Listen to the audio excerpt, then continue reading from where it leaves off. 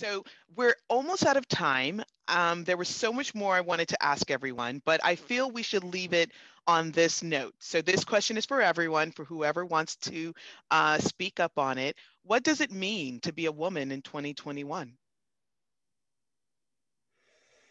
Wow, I can start. So, I mean, I think for me, um, you know, every time that I think about the fact that, you know, I, I, don't think about being a woman without thinking about being a Black woman and what that means.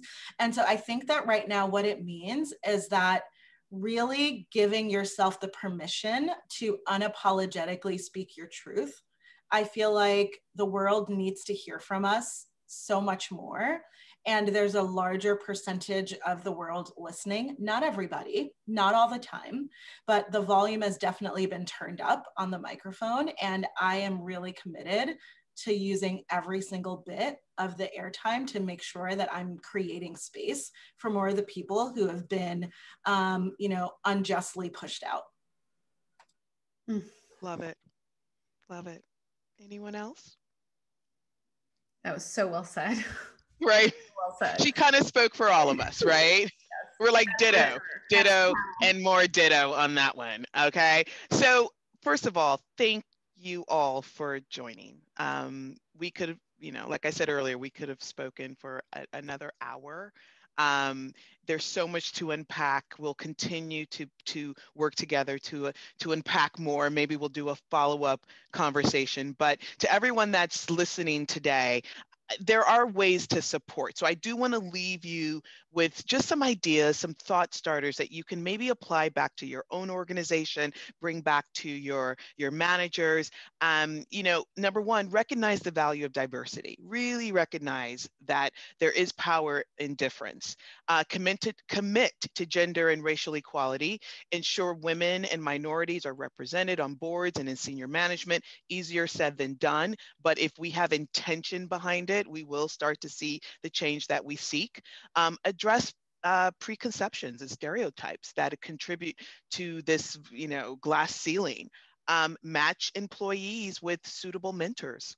I believe in mentorship. It's so powerful. We need to continue that to provide just a personal level of support, not just professional support.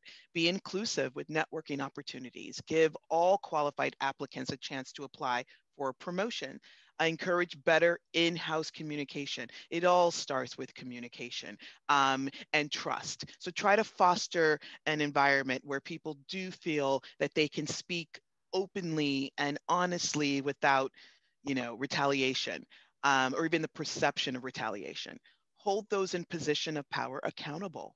You know, Kamala, you said that like we, if we ignore it, then how can we expect to see to see the change? We have to begin to hold those in power accountable um, and continue to do so. Be intolerant of discriminatory practices.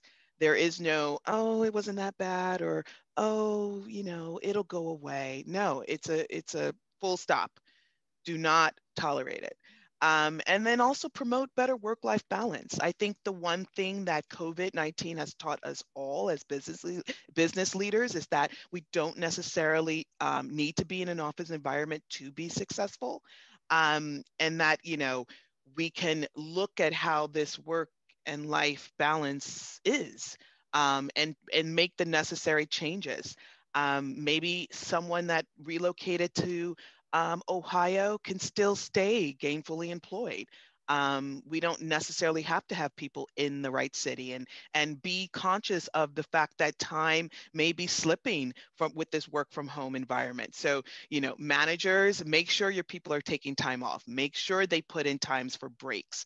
Um, and you know we can we can work towards the change that we seek so once again thank you panelists for leaning in and being open and honest and transparent and i also want to thank everyone that took time out of their day to log on and be a part of this series so with that being said, continue to be strong, continue to be safe, continue to be well, and to continue to break those glass ceilings. Thank, Thank you, you. Amani. Much, everybody. Really appreciate it. Bye, everyone.